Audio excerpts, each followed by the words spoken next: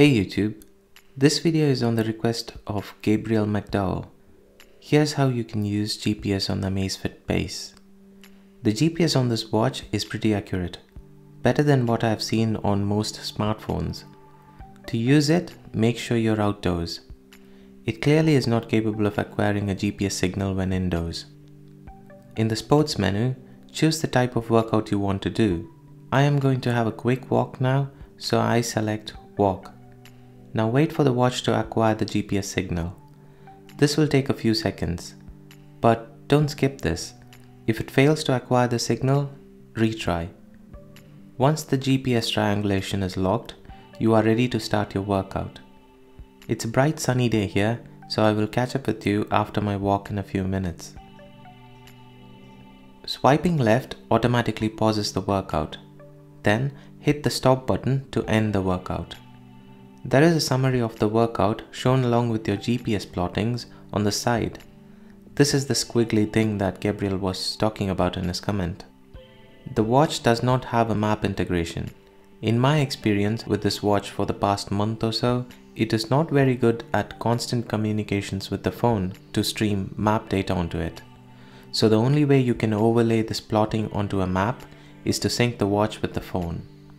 It syncs the data automatically at regular intervals, but I tend to do this ad hoc syncing by opening the Amazfit app on the phone and hitting the sync button.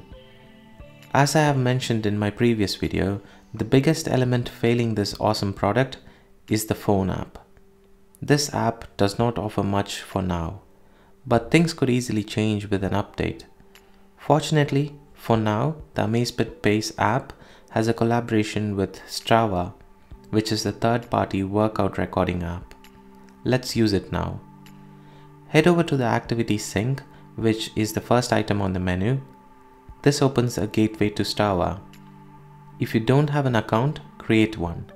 Since I have one already, I'm just going to hit on data sync. This will feed the watch's workout data to the Strava database. Now tap on your username at the bottom. This opens Strava application on your phone and voila, your GPS plotting is overlaid onto a geographic map. I'm really impressed with the accuracy of the GPS on this watch. I walked this path intentionally. While walking up the street, I took the left side of the road and when returning, I crossed the road and walked on the other side. The two paths that you see here is not more than 4 meters apart from each other and you can see this on the map. It is very cool that the watch picks up information at this level of accuracy.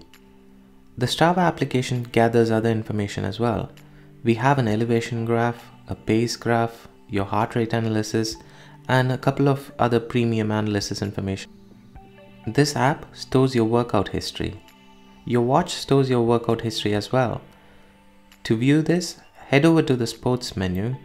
Here you will see the summary of all your workouts and also the individual sessions with a lot of detailed information.